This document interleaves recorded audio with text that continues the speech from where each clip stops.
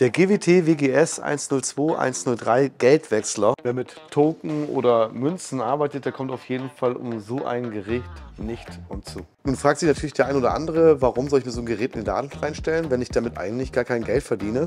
Warum dieses und kein anderes? Ich würde sagen, die ganzen Fragen klären wir nach dem Intro. Ab geht's. So, es gibt natürlich verschiedene Gründe, warum man einen äh, Geldwechsler braucht oder nicht. Am Anfang erschließt es sich nicht ganz. Das ist, äh, bin ich natürlich bei, bei dir oder bei euch. Ähm, es gibt aber halt Möglichkeiten, wo man den äh, Wechsler gut einsetzen kann. Hast du eine große Station, willst du zum Beispiel die Scheinleser in den Automaten sparen, hast einen zentralen Wechsler, hast du einen Wechsler und nicht 10 oder 20 Wechsler. Spaß natürlich letztendlich auch wieder Geld, muss man sagen.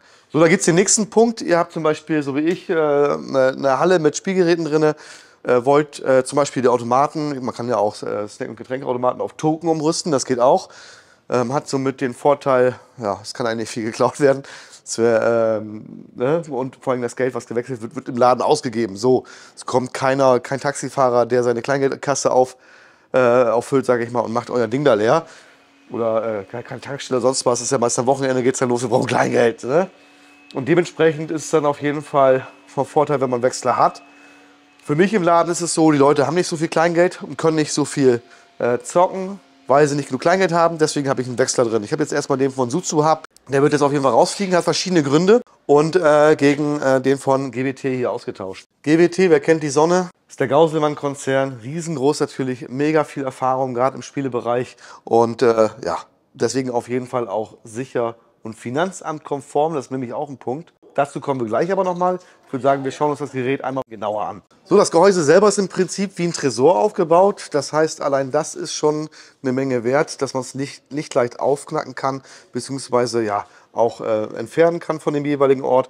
Man kann das entweder in der Wand verschrauben oder halt so wie hier mit dem äh, den Fuß, der ist optional, den kann man mitkaufen und dann halt einmal im Fußboden montieren und dann nochmal das Ganze über die Rückwand an der Wand. Gucken wir erstmal von außen. Wir haben hier eine Scheinannahme. Wir können das ganze Gerät auch mit Münzannahme ähm, bestellen. Also Schein wechselt in Münze oder in Token oder Münze wechselt in Münze oder in Token. Also wenn man zum Beispiel ein 2-Euro-Stück hat, dass man dann zwei einzelne Euro-Stücke bekommt oder halt, dass man dann Token bekommt. Man kann auch sagen, dass man für 10 Euro zum Beispiel 15 Token bekommt und für 20 Euro dann halt 40 Token. Nur als Beispiel, dass man so eine Art Bonussystem mit einbaut. Eigentlich ist das Gerät konzipiert als Geldwechsler, aber kann aber natürlich alles. Wir haben zwei Schlösser hier verbaut. Das eine ist ein bisschen einfacher. Hiermit kann man ins Menü reingehen. Das ist dann quasi fürs Personal. Wenn man äh, irgendwelche Daten abrufen möchte, kann man die ganzen Service-Einstellungen und sowas machen, das Gerät neu starten, wenn es mal hängt und kann dann hier über den Service-Schalter wieder rausgehen. Hat den Vorteil, dass das Personal nicht unbedingt im Geld rumwühlt. Ich will jetzt niemandem unterstellen, dass er klaut, aber es verleitet natürlich. Gelegenheit macht Diebe. Ins Innere kommt man erst mit dem richtigen Schlüssel. Man merkt schon beim Aufmachen, hier hat man auf jeden Fall was richtig Solides. Das ist nicht mal einfach eben wie so ein äh, Amazon-Tresor, sag ich mal, verriegelt. Wir haben vier Verriegelungspunkte. Ganz wichtig, die lassen sich im abgeschlossenen Zustand auch nicht nach oben schieben. Es gibt nämlich Automaten oder Geräte, da geht das wirklich. Der WGS 102 und 103 unterscheidet sich im Prinzip von der Kassette. Wir haben hier einmal so eine Kassette, wo das Geld reinfällt. Und dann gibt es natürlich bei dem ähm, WGS 203 nochmal äh, eine Kassette, wie ihr das von euren Automaten kennt, wo das Geld dann quasi hinten drin landet. Die man rausnimmt. Vorteil ist, die Scheine liegen wirklich schön flach drin. Hier sehen wir jetzt aktuell sind zwei Hopper verbaut, einmal 1 Euro, einmal 2 Euro. Man kann natürlich hier auch 2 Euro Münzen reinpacken oder irgendwas anderes. Kann natürlich auch die Token mit reinpacken. Äh, kann sich hier direkt, äh, ja, kann halt die Hopper auch rausnehmen.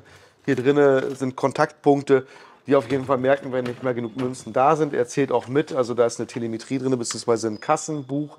Und das heißt, man kann das Ding aufstellen, ohne dass man nochmal separat ein Kassenbuch führen muss. Und das ist ganz wichtig, weil da achtet je nach Landkreis natürlich das Finanzamt schon genau drauf. Der Scheinprüfer ist natürlich äh, manipulierungssicher, was auch ganz wichtig ist bei so einem Scheinprüfer, dass er äh, geupdatet werden kann.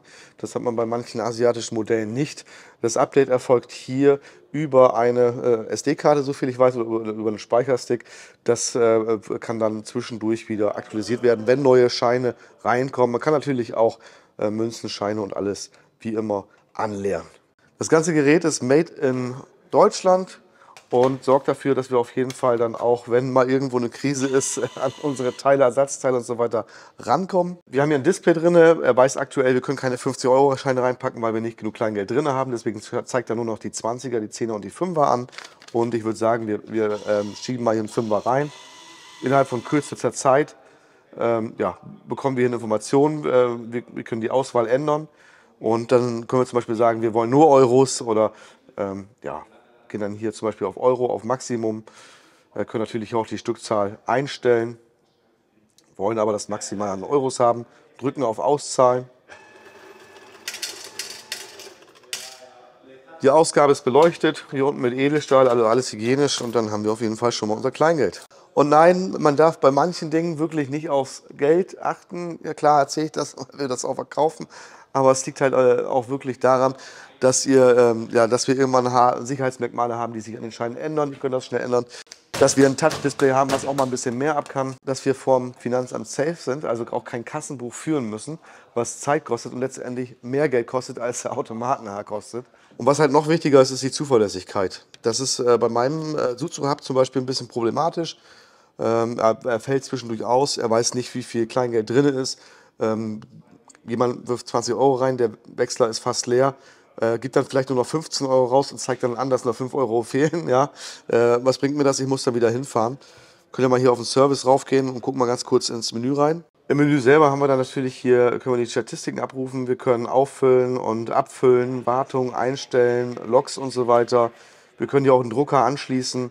Ähm, ja, ist natürlich alles möglich, können hier äh, Tests durchführen. Sobald wir den Schlüssel wieder rumdrehen, sind wir wieder raus aus dem Menü. Das Ganze ist intuitiv und ohne Anleitung zu benutzen. Das heißt, jeder Mitarbeiter kommt da innerhalb von kürzester Zeit mit klar. Schreibt gerne rein, wie eure Meinung dazu ist. Ich meine, ja, das ist äh, letztendlich viel Geld, aber ihr müsst ja den Vorteil sehen und die Chance, dass ihr damit mehr Geld als vorher verdient. So ist es bei mir zumindest. Das ist natürlich immer der Verwendungszweck die Sache. Überlegt ja nur mal fünf oder zehn Jahre weiter, wenn wir vielleicht nur noch äh, Karten haben, also äh, das Bargeld äh, ganz verschwunden ist könnt ihr ja, hier ein Terminal einbauen und könnt dann Token abverkaufen, ohne dass ihr ja, irgendwelche Kunden verliert, weil ihr nicht die entsprechenden Zahl Zahlungsmethoden habt oder müsst nicht extra neuen Wechsler wieder kaufen. Das ist halt das Ding, was ähm, immer laufen wird. Letztendlich ist das Fazit, dass wir was verkaufen wollen, was in zehn Jahren immer noch funktioniert und ja, wo wir auch unsere Automaten dann Payment einbauen können. Gebt wie gesagt euren Senf gerne dazu. Wir können das Gerät selber bei uns im Shop angucken und uns auch gerne dazu Löcher in den Bauch fragen. Bis dann, euer Onkel Kramer. Ciao.